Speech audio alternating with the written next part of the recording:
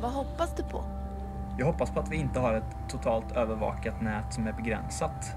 Och det är väl den största frågan just nu. Att upphovsrättsindustrin gräver en grav för internet. De tar inte hänsyn till samhällsnyttan av ett fritt nät.